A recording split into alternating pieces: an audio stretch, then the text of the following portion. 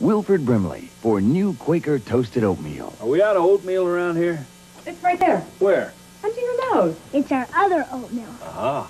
Well, in this house, there is no other oatmeal. Just Quaker.